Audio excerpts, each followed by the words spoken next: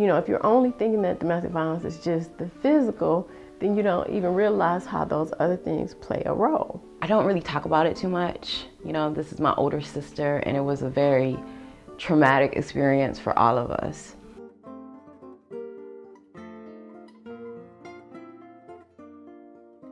Emotional abuse can be just as detrimental as physical abuse.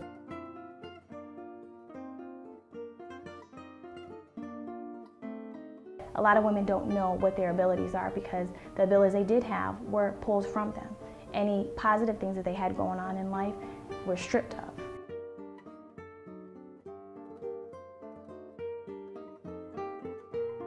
What do you mean? Is my baby alive or dead?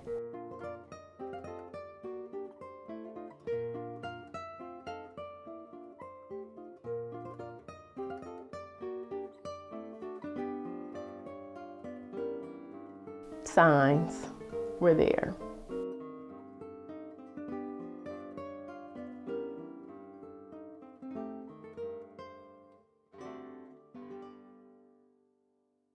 I remember looking at her and introducing myself. I said, I, I didn't know what to do with the baby because I, I saw my husband. I said, you know, he said, we read the books, we'll learn. And I said, hello, my name is Betty Risker. I'm your mother. I've been chosen by God to guide and direct you and to protect you and to show you how, what to do. But you do not belong to me. You belong to him. I dedicated you to him. I love you and I will love you all your life.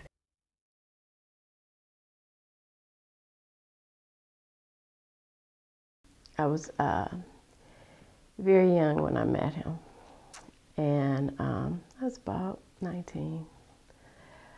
And um, he was very smart and down to earth, and we our personalities meshed very well. Uh, we spent a lot of time together, and um, at that time I was in school. I was at Wayne State University and um, during the time, when I first met him, I was working as a telemarketer. And uh, from there, I went to work as um, at the Detroit Medical Center as a telephone operator. And I was like working on call. So um, our relationship, you know, it started off pretty good. Um, and we dated and we hung out and did a lot of different things. And we grew stronger. Uh, I got my own place, and he was over like all the time, all the time.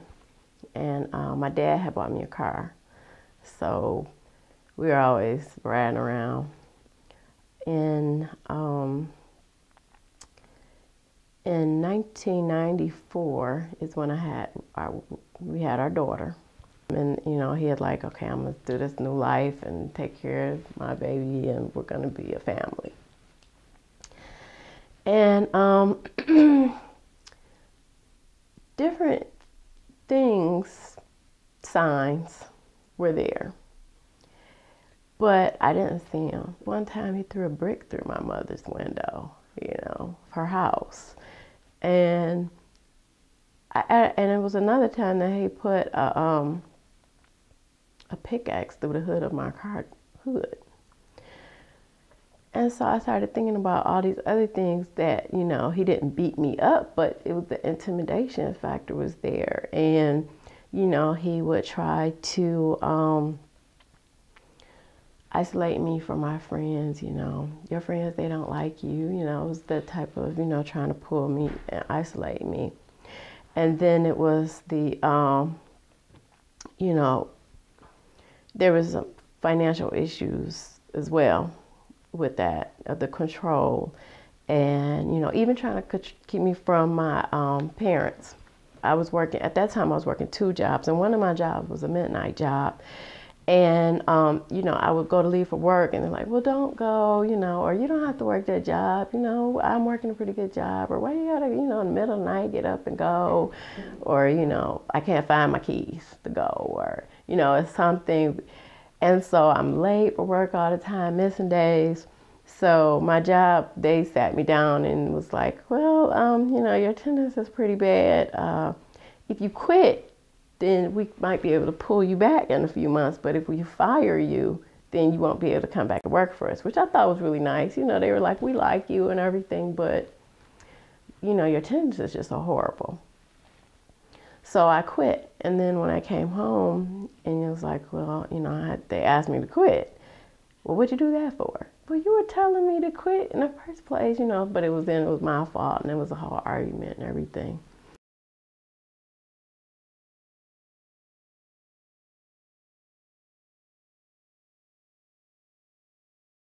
My intention was to just totally ignore him, you know. And so I get out the shower and I have on a short robe. And he's standing at the doorway and he says, Come in the living room a minute so I could talk to you. And I knew I didn't want to go into the living room because I was further deeper into the apartment. And he like crossed the room in two steps. And I was on the floor. So I was covering up my head with my hands and my arms, and he just was kicking me and punching me, and I'm screaming. And um, I climbed up on the bed, and um, I was trying to put some pillows on the top of my head. I'm screaming, I'm just, you know, stop, stop. We could talk, we could talk, just, just stop.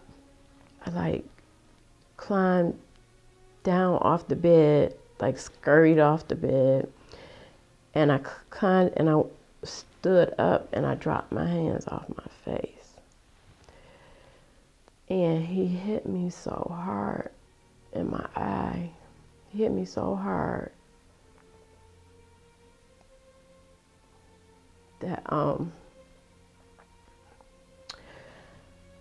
he hit me so hard that I came off off my feet and I, my back hit the wall of the bedroom and um I like slid down the wall and I fell on this. It was just like a little student desk that was in my room. I fell on the desk and the desk broke down. And when I, but like after he hit me, my hands went back up. My arms like went back up over my face and I dropped my, um, I was like crouched like on top of the desk that was broken down on the floor and when my arms dropped down and like out of my right eye, I could see, but I couldn't see out of my left eye. And I saw all this blood. And I thought that my eye had burst because that's how much blood was. And um, so I remember I looked up and I looked at him and he looked at me and I knew I knew it was bad, the look on his face. He said, I'm gonna call, I'm gonna call 911. So he had the phone. I don't know if he called or not. So then he said, well, I'm gonna go down outside the building so when they come, I can let them in. So he left me there. And I guess he heard me out from outside screaming. So he comes back up to the apartment. He says, Well, they're taking too long, so I'm going to take you. Just started praying, Jesus, help me. And um, I just started praying, and um, he started screaming, you know, shut up, just shut that up. And he's cussing and yelling, shut this up, just shut up. And um, I started praying, and um, so he took off his shirt. Um, he had on a t-shirt, and he took his shirt off, and he, he was like, "Here, put this on your eye, you know, to stop the bleeding, to put some pressure on it." And I said, "That I hurt." And he said, "Just put it on there, just do, do do, do, do that." So I figured he just didn't want to see it. He was tired looking at it. So I just took the shirt like in my hand. I just held it up like that so he wouldn't see me. And I was just like, just Lord, please just let me see. At that point, I wasn't even concerned with how I looked. I just didn't want, I just didn't want, I just wanted to be able to see. You know, it was just crazy. And, you know, I just really was scared. I was scared. At that time, he was on probation for another offense. So it was scary. It felt like, I don't remember the schedule, but it felt like I was going back every day to see different doctors and specialists. And they determined that, and, and you know, the different tests were extremely excruciating, but they determined that it wasn't just fractured, but that my left eye socket was shattered. My left eye socket was shattered. I had a couple of pinched nerves. Believe my nose was broken. Um, and that was, you know, just, you know, I had a lot of bruising and, you know, um, things of that nature. But as far as what actually needed to be repaired, um, the only way that that could be repaired would be through surgery. And uh, surgery will require them to remove all the shattered bone and to replace it with a titanium implant. Um, that implant is very thin, it looks like a grape. And um, it was a six hour surgery, which is pretty extensive. And they kept me for a whole weekend.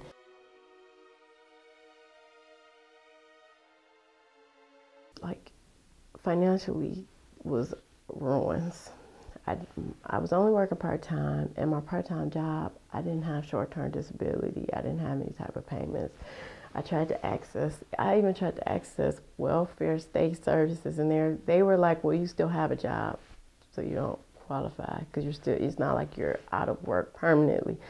Like when I'm off work for extended time, I'm off work, you know. And I went through this whole thing trying to get help the closest domestic violence, I called the national hotline number. They sent me to another city to get services. And I wondered, even at that time, I wondered, how does a person, if I didn't have a car, how would I get here? What does a person do?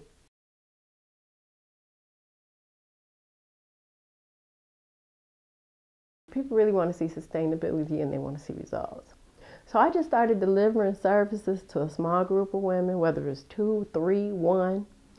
Um, I started meeting them at free places that we could meet to. Starbucks had availed themselves to us, a local Starbucks, or uh, the public libraries, just public places that were safe, that had people around. So I tried to consider all of these different factors.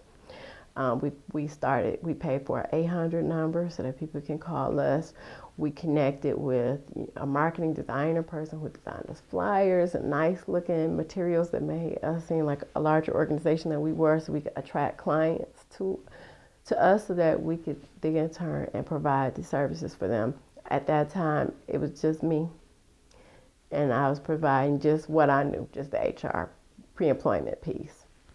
Because that was what people that's what the women needed what SAFE actually is is Sisters Acquiring Financial Empowerment. And the mission of SAFE is to, to equip women with the tools and the resources that they need to become financially independent from abuse. And so that's what everything that we do is formed around that. So our training is a little bit different. People might say, well, what's, what's different about SAFE than maybe another workplace program? Well, the difference is because we're talking about real techniques that a survivor of domestic violence needs to be able to seek work. How do you seek work if you're being stalked? What address do you put on a resume? What phone number do you need? If you are having problems with self image, self esteem, you're not going to feel as confident looking an employer in the eye during an interview. You're not going to project yourself in a resume really talking about the skills and the talents and the things that you've acquired because you don't value yourself that way. SAFE has been very fortunate to connect with different corporations and different individuals who have invested materials and in-kind donations to SAFE and we're so extremely grateful for that. That's actually what has kind of helped us to sustain on a minimal level for the past three years. For us to be able to adequately provide the the attention, the resources that women call every day to access from SAFE, there are some, we do have a great need. We have a need for financial resources. That's our primary need. Then we also have a need for qualified individuals to come and to deliver training programs. But there's still that un, those unmet needs. Um, needs of corporations, of the community. This isn't just a problem between a man and a woman. This affects corporations. So I'm going to the corporations and I'm telling them you need to integrate policies into your procedures about domestic violence in the workplace and how it affects the workplace because quite frankly this affects your health insurance deductibles, your premiums. The company is paying out for this. You're losing productivity, attendance is lower, and for you're losing qualified candidates because of domestic violence. It affects the community. So if you're a community member and you feel like, well, this has never happened to me, well, if someone's getting a brick thrown through their window or the tire slashed or, you know, different problems like that, your insurance, your home and your car insurance is going up because your taxes are going up as well because the police are being called and public resources are being used. So it does affect everyone. Everyone should care.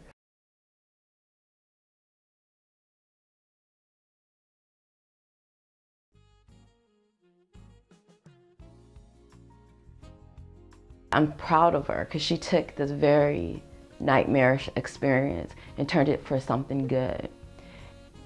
I believe it starts too when you're a kid, when you're a little girl, you know, and uh, the boys hit you or pull your hair, and moms go, oh, that's because he likes you. And I was like, wow, that's very deep. That is, I was like, I think I've said it, you know, and it really changes your mindset. And mindset is like, what do you want your little girl and to grow up to be a woman? And what do you how do you want her to treat herself and how other people to treat her? So that is totally out my vocabulary now because i want you know little girls around. I don't care if they're mine or not to grow up and say you hit me you pulled my hair you don't like me. I'm gonna stand up for myself. I'm not gonna take this. That's just how i feel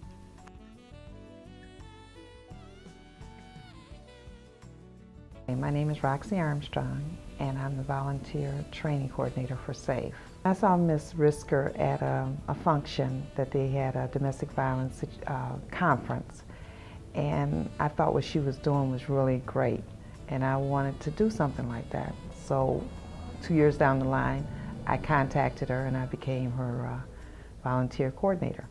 I'm a full-time student at Baker College.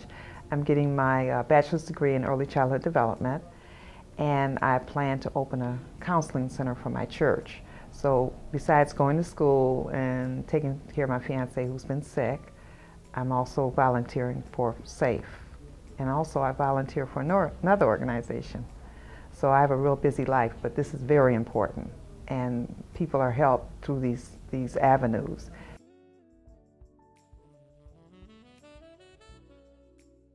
I'm a woman who, who experienced emotional abuse. A lot of women experience physical abuse, but emotional abuse can be just as detrimental as physical abuse because it's something that eats you up in the inside.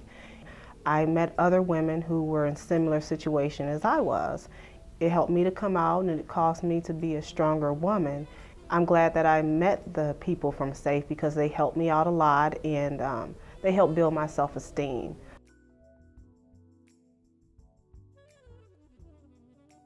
I went to uh, Northwest Precinct and Sister, I can't remember her name, um, referred me to Kaylin.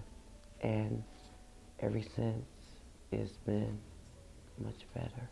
Uh, I can call her and talk to her. She emailed me. Um, I can't explain the wonderful things she's doing for me. You name it, Kaylin has done it. She calls, she checks on me. Um, I love her. I love her.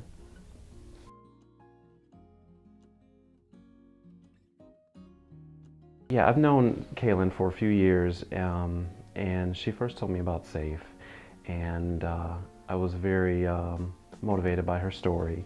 And basically, I'm um, um, sole proprietor, you know, small business. So it's not like I have a lot of resources, but when I heard her story, I definitely wanted to assist her with what she was doing. And um, I lent my expertise in marketing, graphic design, um, to give her company a professional image so that she could reach a lot more people. And it's just been really rewarding to see, you know, the organization grow and for her to get the message across to more people. For small businesses and uh, community members to support an organization like SAFE, um, it raises the awareness. I've been in a lot of programs where um, she's been able to tell her story and it's amazing to find out how prevalent this problem really is and it's kind of a hidden problem. So I think it's really valuable that more people talk about it, they participate, and you know they're able to assist in the process of really getting the message out.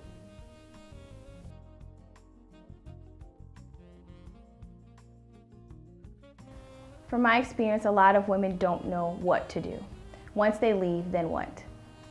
That's why SAFE is so important for women and it's important to get the word out about what SAFE has to offer because a lot of women don't know. They go to a shelter, then the sources that the, the, resources that the shelter have is not enough for them. And a lot of times they end up going back because they don't have anything else. They don't have anywhere else to go. They don't have any money. They, they're uncomfortable. Um, they don't know what society is about, what the community is about because they feel that no one's been there to help them this far. And most of the time, their abuser has isolated them from everyone in their family. So who do they have? And that's why these types of programs are important because they don't know. And it needs to be out. It needs to be broadcast. It needs to be on buses. It needs to be on you know places restrooms everywhere so that women know they have a place to go. They have people that are going to be there for them um, and they feel safe. Safe helps women to empower themselves to get back into the community to do the things that they desire to do and to make the money that they desire to have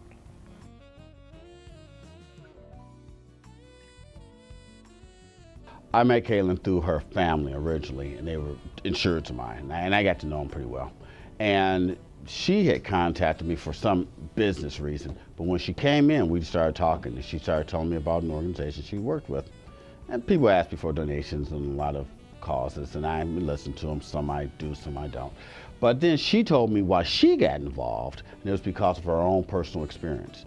And after she told me that, I thought to myself, if you can go through that and at the same time turn around and help other people, then it's a no-brainer. I got to give her a hand. So ever since then, I've been open to her.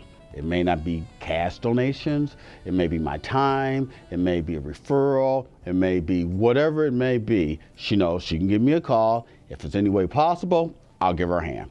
I, I think the most important thing she does is just bring bring it to a forefront, just to make people think about it. If you think about it, then you can address it. But a lot of people just pretend like it doesn't it doesn't doesn't happen.